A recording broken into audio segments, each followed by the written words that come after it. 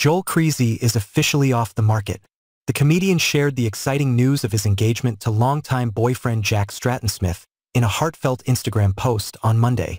In a series of romantic photos taken by a picturesque waterfront, the couple looked more in love than ever, sharing a kiss after Jack popped the question with a stunning ring, a bold gold piece with a dark stone.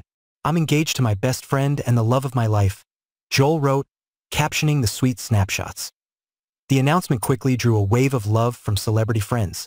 Radio host Em Rusciano couldn't contain her excitement, commenting, Okay, breathe me. We've been training for this moment our whole lives. We need to get onto the Palace of Versailles stat for their avails. Congrats. Broadcaster Myf Warhurst chimed in with, This is just the best news. All my love to you beauties. While Jackie O. Henderson added, OMG. This is so amazing. Congrats, beautiful. It's clear that Joel and Jack are surrounded by love and support as they embark on the next chapter of their life together.